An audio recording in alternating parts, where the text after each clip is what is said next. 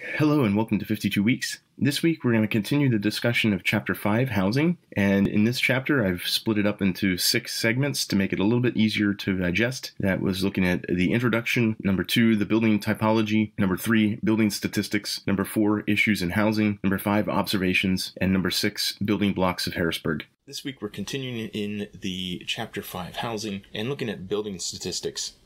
Uh, this area right now, we're looking at affordable housing stock and based on the census tract data, you can see this image here showing all the census tracts.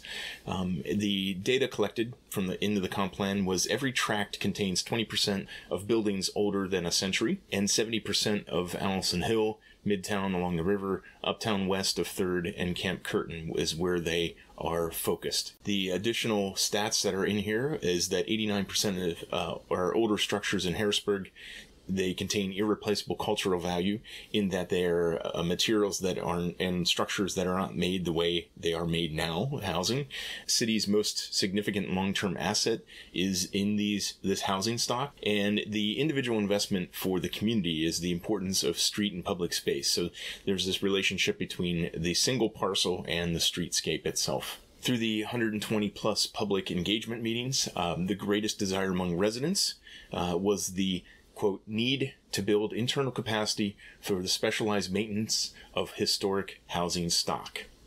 And here I've added an image that was from the OPA plan room, the plan room that is on Liberty Street, and shows the maps of all the push pins where they had these community meetings and various phases of these community meetings. So uh, you can see the diversity of neighborhoods and who they were trying to connect to and reach. This is actually a very important image because I don't think a lot of people have seen this. It hasn't been reported on. Uh, it's been talked about, the 120 plus meetings, but this image is important. Also, with that is the individual uh, slips of paper for all the ideas that people submitted. So that's all still collected as uh, you know, artifacts from the process. Concentrated residential development is represented in some of the areas and discussed here where 1941 we've got the Hoverter homes. The 1950s and 60s where Hall Manor was set up that's south side neighborhood. The 1960s and 70s uh, 40% of midtown was replaced uh, in there. The 1970s and 80s, we had downtown uh, development happening. The Downtown Development Corporation, Harristown, um, is uh, 1974 is when it formed.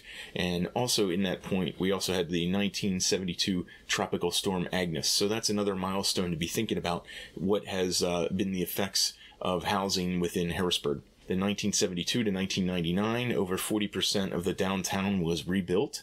That's a significant number to remember. And then in the 2000s, Tract 206 is Capitol Heights was the most recent uh, development of housing when you look at larger uh, housing. There's also the Uptown neighborhood that's in the mid 2000s as well, uh, developing on Green Street. When we look at our total number of units, uh, the 48% are one unit attached buildings, which are row houses and duplexes and there are 16% that are two to four unit buildings, and these are typically subdivided houses. So in total, 64% of the housing stock is an attached uh, type of building, and then we have 22% large apartment buildings that are professionally managed properties, and then there's uh, about 13% of the housing stock that is detached single family buildings. We look at the census tract of 201 and 203. This is downtown and lower midtown. Contain these are 10 or more apartment buildings, 50% of the total units available, uh, medium rise high, to high rise housing structures.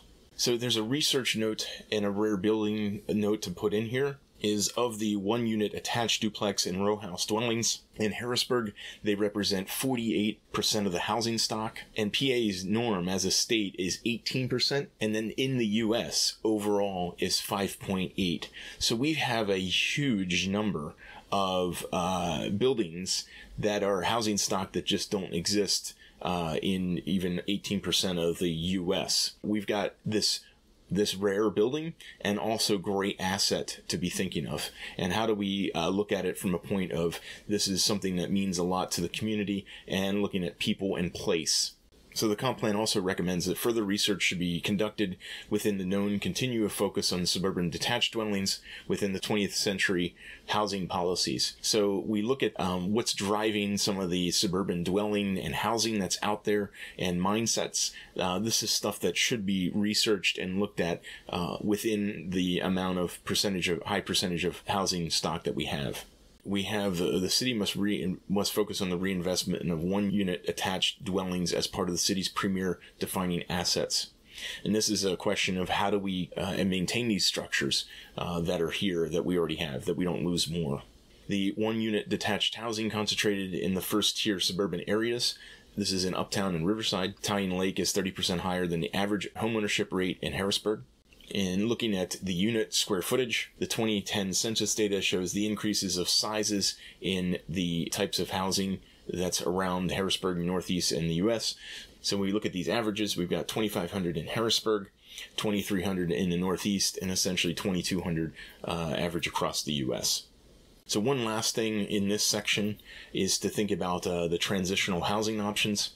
The transitional housing units are any public housing, homeless shelter, recovery, or transitional unit. Uh, the data was collected in the comp plan regarding this. You can see the uh, chart that's here, the table. There are approximately 3,600 transitional housing units. 68% of all options are public housing.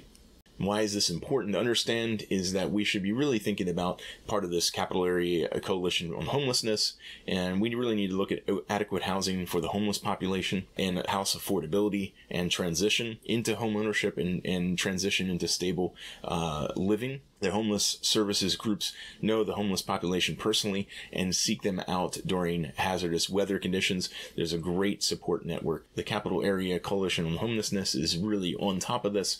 But how do we continue to support this and look to ways to provide uh, dignified living uh, in this river city? So we look at this transitional housing options, what Harrisburg needs, well managed, affordable housing in all neighborhoods. Um, the uh, quote here out of the comp plan since almost all new construction in the city of Harrisburg is subsidized, each new building could be required to contain at least 10% affordable housing units integrated into market rate housing. We don't need just concentrations of transitional housing in specific areas. Uh, well, the idea is to bring this to all neighborhoods. And this is important because we look at how we understand our community and how we can actually look at helping each other to understand community capacity building